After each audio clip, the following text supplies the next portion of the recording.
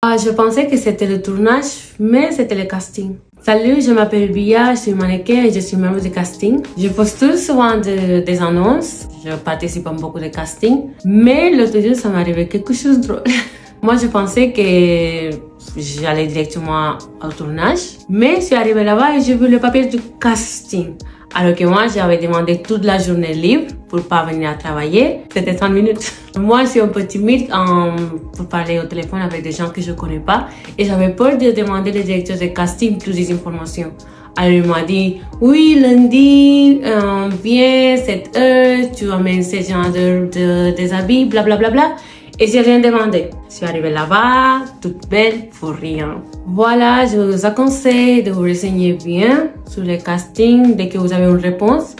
Euh, avoir l'information complète, faut pas être timide, faut demander tout ce que vous voulez parce que sinon,